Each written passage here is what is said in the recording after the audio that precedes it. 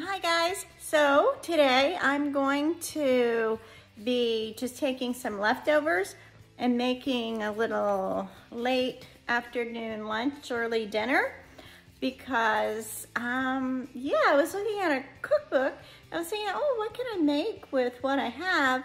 And their ideas weren't any better than mine. So what I'm going to, I have a pan over here and I have some butter in this pan there we are. Um, so I'm just gonna turn that on, heat the, the butter, because what I have here, um, I have some steak that I grilled. You can see the grill marks. Um, so this, this is leftover steak. This is um, prime, um, oh, I can't remember. Can't remember the type of steak we have here. And then I have some green vegetables. These are, this is just a, um, this is just a spring mix. And these are some um, cool Habaneros, peppers from the garden that um, I let get red because they're, they, they show up better if they're red. And then this, this is culantro. And the smell is wonderful. I picked this earlier this morning before I actually decided exactly what I was gonna do with it. So then I um, brushed my teeth, or flossed, and I was like, oh, this floss tastes like culantro. And it was, it was still on my fingers and I had washed my hands about three different times because of um, doing a little gardening and this and that and, you know, making things for the dogs to eat. And well, anyway, that lasts a long time. The oil gets into your fingers. So Anyway, um, that was fun. Next time, let me, let me pick the mint first. Okay, so we have salt and pepper. I have two, four, six, eight eggs in this bowl. You probably already figured out what I'm gonna do. And steak, some very sharp, sharp cheddar cheese. And then I have um, some cheese that I picked up buy one, get one free at the store. And then we have this onion.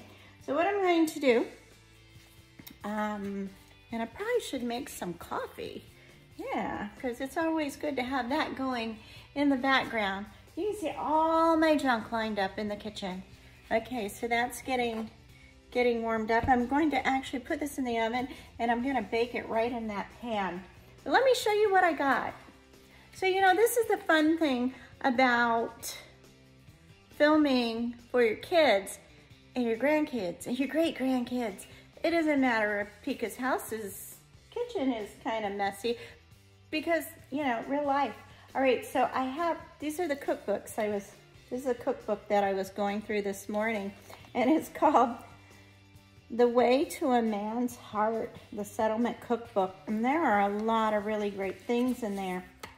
And my husband's mother of blessed memory had this cookbook. So we have a lot of fun making dishes from this. And you can see I got to the egg section and then I thought, hey, let me make something with eggs because I have that, that steak and normally we'll have it on salad or something like that. And yeah, I just want to do something different, but I want to show you these.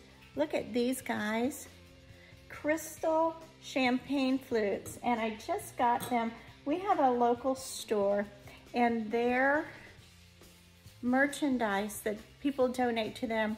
And then the proceeds from selling this goes to our local hospice house um, where they, you know, blankets and just different things that they do for the patients there. And um, a lot of people who have had a parent or loved one that passes away, they will give them, you know, do a yard sale or something, or, you know, some things that are quite valuable. But a lot of things that are really nice and really valuable, they will sell at the store. And that's where these crystal champagne flutes came from. So I love helping them and I, I love some of the fun stuff that I get there. So those were only $2 each. So I'm really happy to have them and I'm happy, happy to help someone else. So that, that's a really, really fun thing. So while that's warming up, what I'm gonna do is I'm going to slice up the steak and fry it in the hot butter. Now, I don't know if you've ever done that before, um, grilled a steak And then the next day you eat it, it's not quite as good. These are really, these are from Costco and they are the bladed steak, which means that they, here we go, we're starting to brown just a little bit. So that's exactly, exactly where we want it. Um, it's bladed steak, so it's really super, super tender. What I'm doing wandering around is getting my tripod so I can use my hands. But it's a very, very tender steak and, well, it's just, just yummy. So anyway, but this is what we're gonna do with it today. We're going to make um, a Pekah egg surprise. So it's gonna be cheesy and yummy and, and good. So let me get this set up and we'll get chopping. Okay, so we're just going to cut this in sort of bite-sized pieces so that when you grab a bite of this and you just don't have to, you know, over chew. But this is, the dogs are going crazy. They love barbecue day. Um, so anyway, you know, this has been in the refrigerator and it's been cold and I tell you, oh, it still smells wonderful. So let's get this chopped up and then we will get our eggs whisked and we will move on to step number who knows what. All right, hang on guys.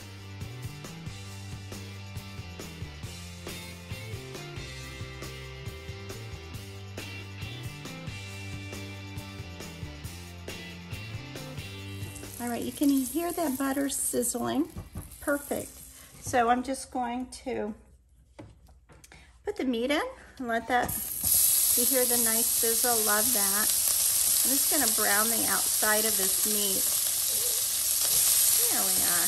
Just brown that a little so that when you you get it in the egg, you're going to just have completely braised meat on both sides a little searing.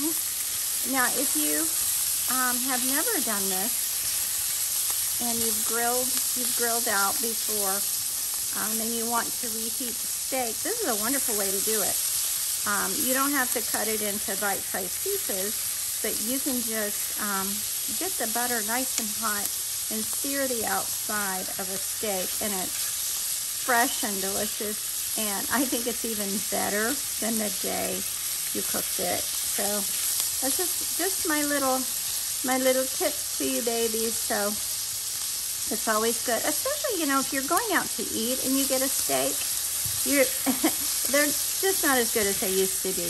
But you get a steak out and then you bring it home and you have leftovers and the leftovers not very good, but this is a way to revive it and actually make it better. So anyway, a little butter little butter full of love. All right, so we're gonna move that over to the side because I want that pretty warm when we mix it with the egg. And then here goes, here goes our cool habanero peppers. And this is just pretty much the same as a red bell pepper. It's not any different. But if you like it hot, put in a hot pepper. Yum, yum. Okay, so we're gonna put the meat on, stack it on top of the peppers. Sometimes you can, sometimes you can't.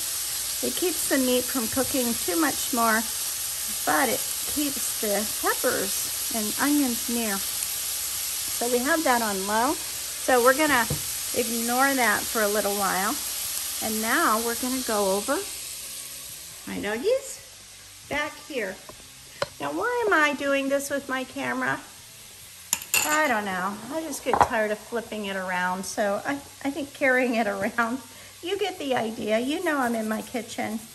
No, there's no, what do you call that, um, film and crew here. So, all right, lots of salt. Because you have eight eggs. To pre pretend you're salting eight eggs individually and you'll figure out how much you need. So we're just gonna flip these up. Ah, sorry about the noise. All right, so that's about it. You don't, you don't have to go overboard with it. And you can could add a little cream here if you wanted. But I'm using steak that has fat. I'm using butter that has fat. Um, so I just really don't feel like I need to. Now this, I got all the, oh, there's a piece of cilantro. No, yep, no, no it's not. So this is just going to be mixed in with the egg. So that'll just sort of like spinach or something like that. Now I have um, this piece of cheese, which I'm going to shred to put in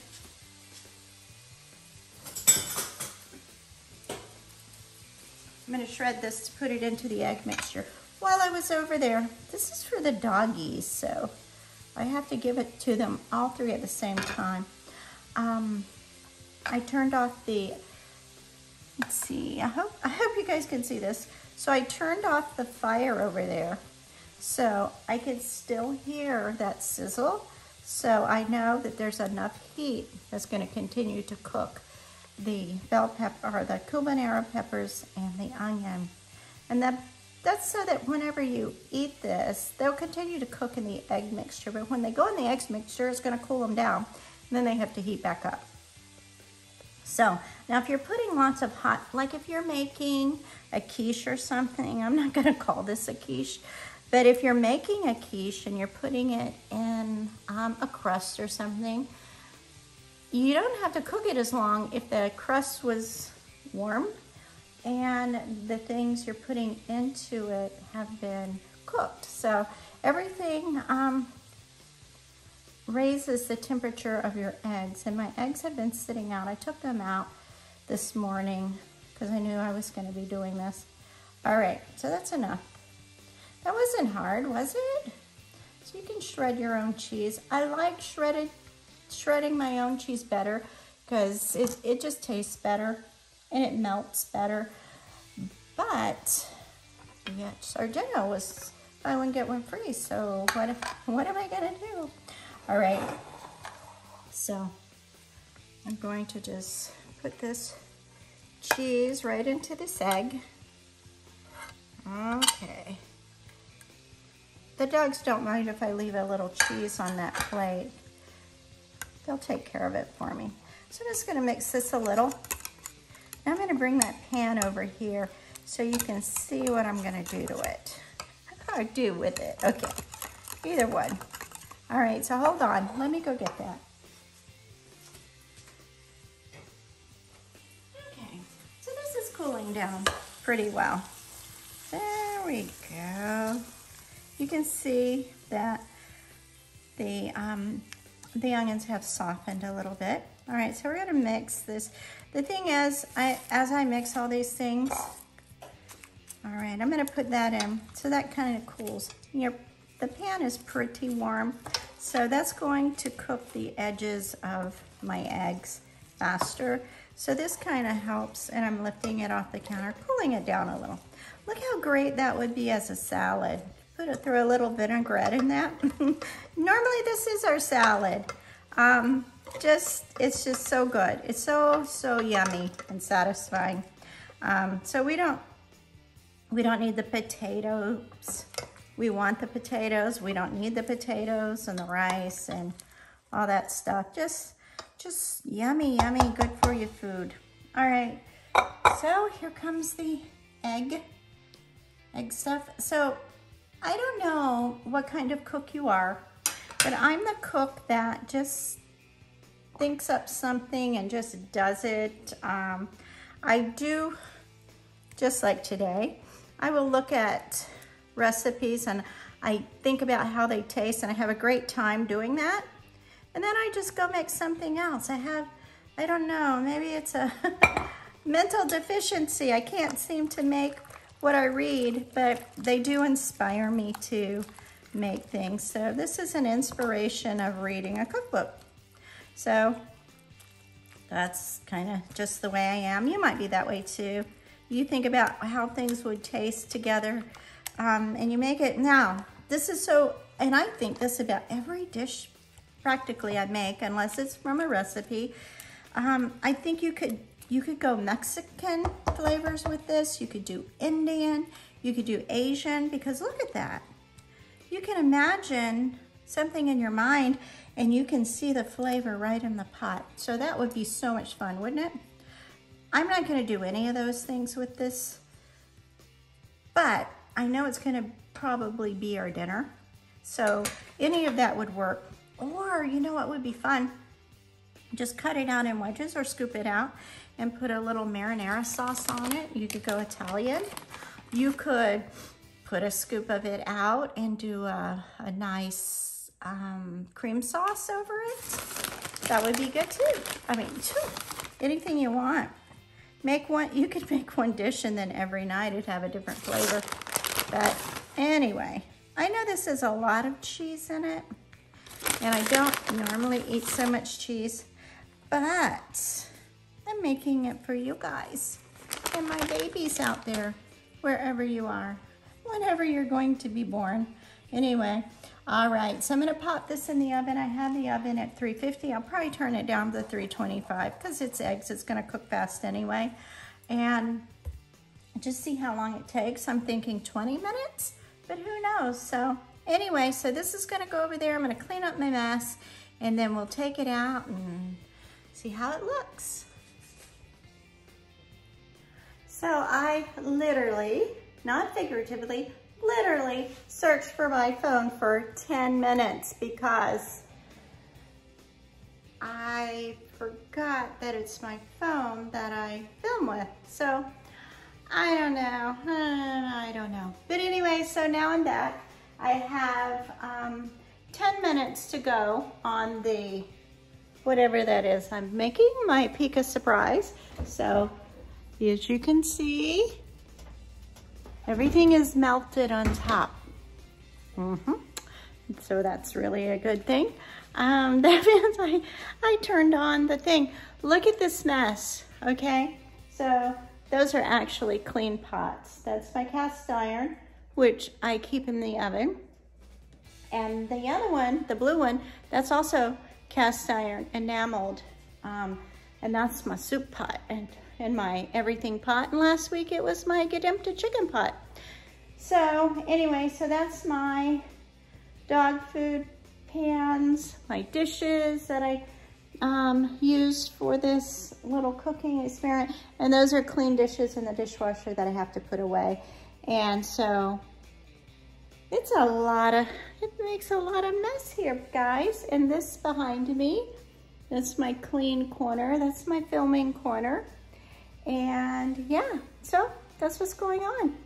Just hanging around. I'm gonna clean those dishes now that I found my phone. And I keep looking this way. Like, what's over there? But you know what's over there? If I look straight at my phone, it picks me up to the my right, your left. Oh, you know, there's so much to learn in this YouTubing, YouTubing business, but what I want to do is to, okay, that's my other side. This is our water filter. Um, cleans, cleans our water. These are our drops, trace minerals that we put in our water because we take everything out of our water and then our vitamin D3 and our, oh, oh this is interesting, Detoxadine, um, but that's our, our iodine. Three drops on your tongue, you know, it tastes like you're licking Band-Aids. But anyway, so that's, that's my kitchen. And this is my, this is my little hand washing cup. Do you know what that is? Leave, leave a comment below. All right, well, thanks guys. And, and Thanks for touring my messy kitchen. I'm gonna clean it up and then we will get back to our Pekah surprise. Okay, hang on. Okay, so I have been baking this. Uh, yeah, it was about 21 minutes or 22 minutes, including broiling time. So here it is. So you can see that. Now the top of this um, looks like it has oil or something on it. And that just comes from the cheddar cheese. All right, let me close this. So another exciting thing. Oh, I really should hold it out that way. Too many wrinkles. Okay, so while you were gone, I got the kitchen cleaned up, except for my glasses, which I have to find a place in this cabinet for. And then uh, my cookbook, which I'm still still reading. Um, And these are um, gifts for people that have just come in the mail from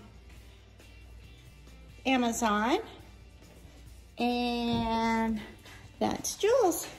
Jules just got back from having the pool water tested and another errand. We won't, we won't mention. Say hi, baby. Hi, baby. Hey, baby. So anyway, I'm gonna let this cool and take a look inside. Let's see, let's put you down a little. Okay, that's as low as it'll go. Or maybe I can move it up. Ah, perfect. I don't know about you, but I always have a paper towel. I'm always wiping things in the kitchen. So you'll see these everywhere. And if they're not, not dirty, and if they're not dirty enough, then I don't throw them away. I keep using them. I keep my eye on my husband if he's gonna throw away a good paper towel or not. Actually, I learned it from him because he uses his paper towels way too long. Anyway, so okay, let's take a look at this. How it looks inside. Oh, I better keep that on because it's hot. So you can see all the um, oil and stuff is gone. So that just kind of reabsorbs, reabsorbs into the dish. So I'm just gonna take it out, turn it over. So that's the bottom. It's about an inch or two thick. And so you can see those bits of steak and the onion, and you can see the spring mix salad and yummy, yummy, yummy. So it's really hot. So what I would do, what I would do is just take this, put it on the dish, and then put a dollop of sour cream on top. Boy, that would be so good. So anyway, all right, so this is a, a rare peek into Pekah's life and my clean, dirty, clean kitchen. So it goes back and forth all day long. So I hope you enjoy it and I hope you make your food with a lot of flair. So anyway, thanks for watching. Pekah loves you.